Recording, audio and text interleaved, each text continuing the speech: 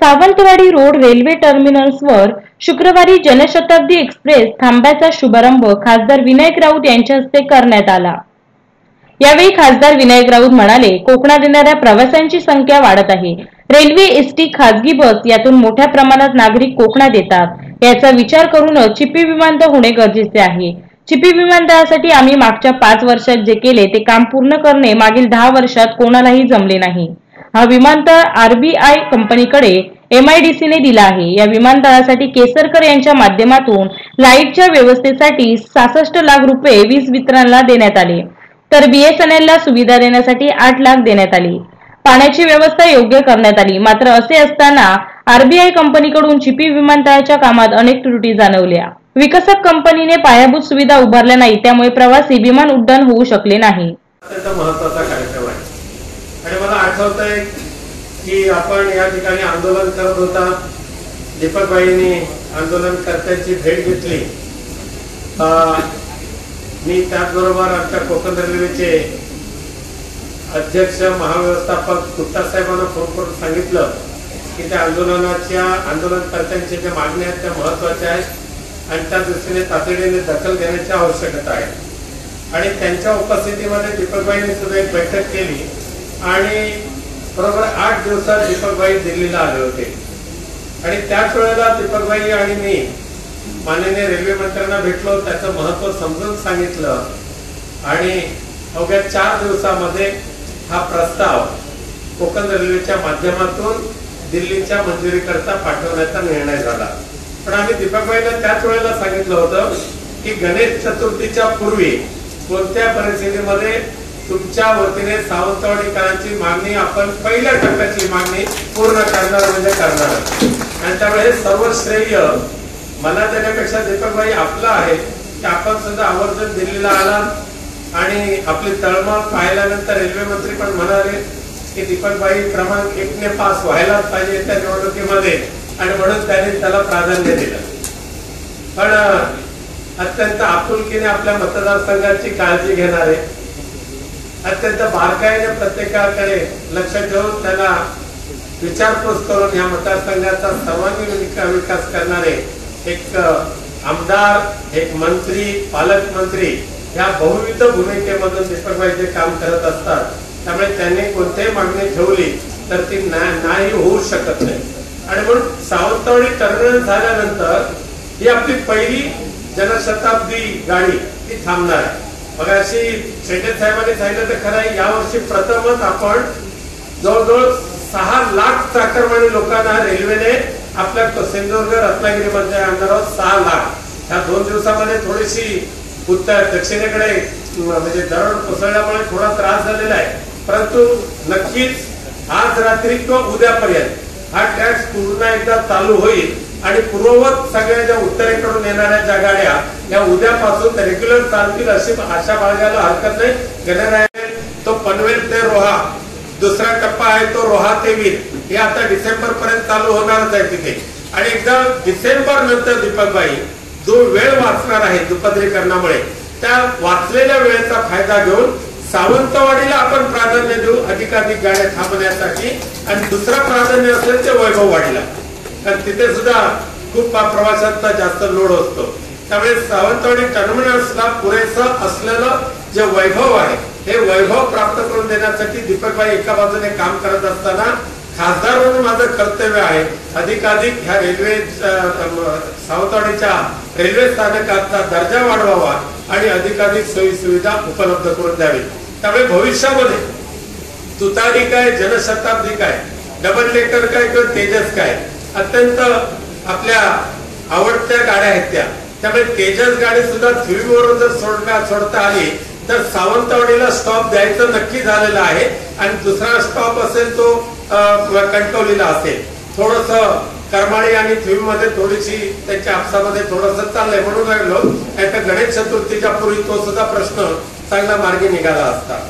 आज कोकणामध्ये येणाऱ्यांची संख्या वाढते.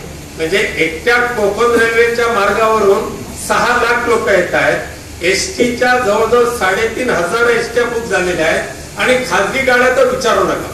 एवढं सगळं झालेलं आहे.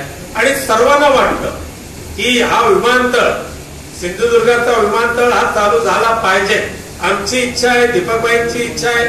आणि मी सांगू इच्छितो जे कोण कोण काय काय बोलणार आहेत की मागच्या पाच वर्षामध्ये दीपकभाई केसरकर आणि विनायक राऊत यांनी ह्या रेल्वे आपल्या चिपी विमानतळाचं काम पूर्ण होण्यासाठी जे जे प्रयत्न केलेले आहेत ते मागच्या दहा वर्षात कोणीही केलेले नाहीत. आणि म्हणून मागच्या बारा एप्रिलला ट्राय लँडिंग गणरायाच्या माध्यमातून झालं तिथे. आता विमानतळाला तसं काही राहिलेली नाही. पण दुर्दैव असं आहे की हा विमानतळ जो आहे ना तो आय आर बी कंपनीला दिलेला आहे. तो भारत सरकारकडे नाही दिला.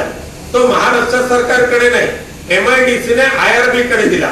आता बाकी रनवे कंप्लीट झाला. टर्मिनल बिल्डिंग कंप्लीट झालेले आहे. अप्रोच रोड कंप्लीट झाले. त्या ठिकाणी जो लाईन म्हणजे विजेची जी कनेक्टिव्हिटी द्यायची होती तेहतीस केवीची. काही जणांनी नाटकं केली पण काही गप्प बसले नाही. आज त्यांनी ताबडतोब सहासष्ट लाख रुपये डीपीसी मधून अकरा केवीची लाईन टाकण्यासाठी दिली.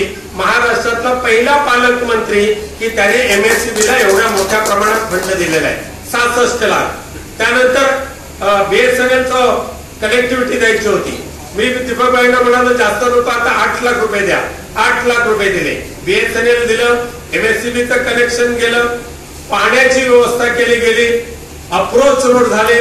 कुडाळला येणारे मालवणला जाणारे परंतु दुर्दैवाने सहासष्ट लाख देऊन लाईन तिथे आणून सुद्धा आत्माचा जो ट्रान्सफॉर्मर पाहिजे. यावेळी व्यासपीठावर पालकमंत्री दीपक केसरकर कोकण रेल्वेचे रिजनल मॅनेजर उपेंद्र शेंडे नागेंद्र परब संजय पडते उपनगराध्यक्ष अन्नपूर्णा कोरगावकर कोकण रेल्वे प्रवासी संघटनेचे अध्यक्ष डी के सावंत पंचायत समिती सभापती पंकज पेडणेकर उपसभापती संदीप नेमळेकर रुपेश राऊत संपदा देसाई दिलीप सोनुर्लेकर निरवडे सरपंच प्रमोद गावडे आदी मान्यवर उपस्थित होते. दुसरं एक तिकीटचं बूथ असेल किंवा नवीन जे स्टेशन असेल त्याच्या इमारतीची मागणी होती. आणि कोकण रेल्वेचं म्हणणं असं होतं की इथे याला नवीन रस्ता बांधायला लागतो. एकतर रस्ता आम्ही बांधतो किंवा स्टेशन आम्ही बांधतो आणि तुम्ही रस्ता द्या. त्याच्यासाठी त्यांनी शहाऐंशी लक्ष रुपयाची मागणी केलेली आहे. जिल्हा पर्यटनाच्या निधीमधून ही मागणी आम्ही तातडीने मंजूर करतोय. जेणेकरून रेल्वे स्थानकावरून जाताना थेट रिक्षा या गाडीच्या शेजारी उभ्या राहतील आणि प्रवाशांना जाणं अधिक सुखकर होईल. बगीज पाहिजेत रेल्वे स्टेशनवर ज्या रिक्षा लागतात त्यांच्यावर शेड पाहिजे पर्यटन जिल्हा असल्यामुळे किऑस्क पाहिजेत वगैरे ह्या विविध गोष्टी ज्या आमच्या चर्चेमध्ये ठरलेल्या होत्या. त्या सगळ्यांसाठी निधी हा आम्ही मंजूर करतो आहे त्याच्यापैकी काही कामं ही रेल्वे करणार आणि काही कामं महाराष्ट्र पर्यटन विकास महामंडळ करणार या माध्यमातून केवळ सावंतवाडी नाही तर सावंतवाडी कुडाळ कणकवली ही जी तीन तीन प्रमुख स्थानक आहेत या तिन्ही प्रमुख स्थानकांना या सुविधा उपलब्ध करून दिल्या. हे टर्मिनस या ठिकाणी होण्यासाठी तत्कालीन रेल्वे मंत्री आदरणीय सुरेशजी प्रभूसाहेब यांनी खूप सहकार्य केलं. आजच्या प्रसंगी त्यांची निश्चितपणे आठवण आणि त्यांचे आभार मानले पाहिजे आणि त्याचबरोबर पियुषजी गोयल साहेब ज्यांनी आम्ही भेटल्यानंतर लगेच आम्हाला रिस्पॉन्ड केलं. खासदार साहेबांनी तर प्रत्येक क्षणी त्याचा पाठपुरावा केलेला आहे. त्याच्यामुळे पियुषजी गोयल आणि आमचे लाडके खासदार विनायकजी राऊत साहेब यांचं विशेषतः सावंतवाडीतील सर्व जनतेच्या वतीने सर्व प्रवाशांच्या वतीने सर्व इथल्या रिक्षा चालकांच्या वतीने मी हार्दिक हार्दिक आभार मानतो. माझे मित्र डी के सावंत जे स्वतः आजारी असताना सुद्धा त्यांनी आंदोलनाचं नेतृत्व केलं. मुद्दाम मुंबईच्या मिटिंगला आले आणि सातत्याने पाठपुरावा करत होते. ते डी के सावंत आणि त्यांच्या सर्व सहकाऱ्यांचं सुद्धा मनापासून आम्ही आभार मानतो आणि त्यांचं अभिनंदन सुद्धा करतो की त्यांच्या आंदोलनामुळे आम्हाला काम करण्याची अधिक एनर्जी मिळाली दिल्लीला जाण्याचं तातडीने आम्ही केलं आणि त्यांचे त्यांच्या सर्व मी आणि पालकमंत्री आदरणीय दीपकभाई केसरकर या दोघांना आवाज आज अत्यानंद होतोय. या ठिकाणच्या प्रवाशांची सातत्याने मागणी होती. आणि त्या मागणीला अनुलक्षून माननीय दीपकभाई त्या प्रवासी संघटनांना भेटले होते.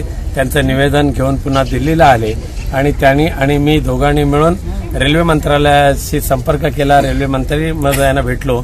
सातत्याने कोकण रेल्वेचे महाव्यवस्थापक गुप्ता साहेब आहेत.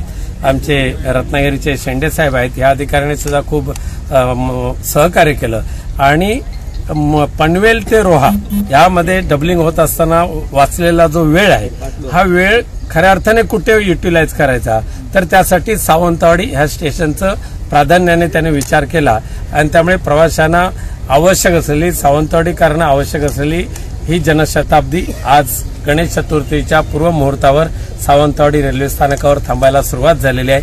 आणि आम्हाला नक्कीच खा- खात्री वाटते की यावेळेला संपूर्ण महाराष्ट्रातून कोकण रेल्वेच्या मार्गाने जवळजवळ सहा लाख प्रवासी येण्याची शक्यता आहे अधिकृतपणे.